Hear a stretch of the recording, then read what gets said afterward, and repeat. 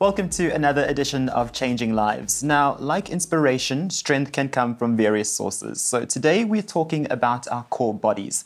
Tanya, I believe that we have three core bodies, right? Yes. Tell us more about this. Absolutely. So I talk about this a lot in my book, The Power of Positivity. Now, we have the physical body, which I'm sure all of us are aware of, and if you're not, there's a big problem with that. The mental body, which is about your thoughts. And interestingly, so many people are not aware of what they think. And then you've got the energy body. Right. Now, all three of them need to be in alignment for you to be on track. And if any one of them are not in alignment, clearly you're off track, right? And it's the easiest way to start.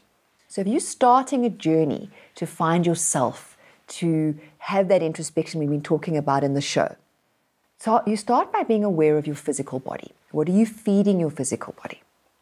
Are you nurturing it? Are you treating it well? Are you exercising?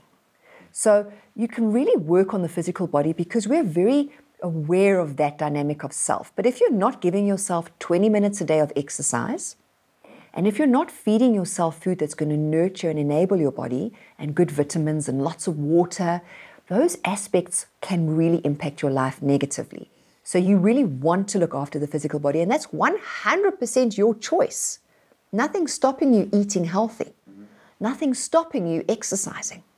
And if you can watch a 45 minute episode of something, you've got 20 minutes to exercise. Okay, so if you tell me, oh, I haven't got time to exercise, even if you walk around your bedroom, you've got time to exercise a couple of sit ups, a couple of push ups. So the physical body is easy to manage. The second one is the psychological or mental body, okay? Becoming aware of your thoughts. And an easy trick is you choose a color, like for example, orange. And every time you see orange, you stop and you go, What am I thinking? And start realizing what repetitive thoughts you have going through your mind. And then, once you've obviously realized where you want to be in life, ask yourself, Are these questions in my mind I'm having, these thoughts I'm having repetitively, this internal dialogue or monologue, actually, hopefully it's not a dialogue, this internal monologue that I'm having, is it taking me closer to my goal or further away from my goal? Okay, what do you think the energy body is? You're very touched the way you think, I would imagine, and what you put out into the uh, into the environment. I would imagine. Okay, so it's beyond what you think. Okay. It's what you feel in association with your thoughts. Okay, so like we said in one of the other episodes, we spoke about, let's say, for example, you use the word money mm-hmm. or love or chocolate.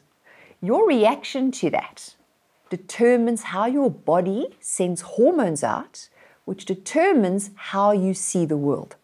So let's look at the word chocolate this time. Okay, I love chocolate, right? Mm-hmm. So if I eat chocolate, I feel happy because it sends endorphins out to my body because I enjoy chocolate. But if a diabetic thinks of chocolate, what are they doing? They're sending out disabling hormones into their body, which is going to make them push chocolate away. Same with money. If money is, flows to you easily and you have a good relationship with it, it comes in in your world and you're completely at peace with it. You don't think about it. But if you have a bad relationship with money or you fear it, what happens is you send out the same hormones as the diabetic and you push money away from you. It becomes a disabler, all right? So the energy body is incredibly important. It's how you feel. And usually that feeling is a gut feeling. So we need to be well aware of that dynamic. So what you think, how you feel about it, and your body's reaction to that determines whether you'll have inattentional blindness, which we'll go into in depth in another episode, or whether you'll have attentional awareness, which we'll also go into. And the difference between the attentional awareness or the inattentional blindness will either be pushing it away or bringing it closer to you. And people can actually start taking control of their lives. So, in summary, what are we doing? Physical body first, that you have complete control of. Psychological body, your mental body, your thoughts, you almost have complete control over. And the energy body, you've got to learn. So, how do you feel about that? I feel fantastic. And I think ultimately what you're saying is you just need to have a consciousness, right, of your mind, your body, and everything that's going on around you. 100%. Thank you so much for picking that up. That's wonderful. Join us again next time for another edition of Changing Lives. five minutes. afaga faga, faga, uma sabufa e cinco.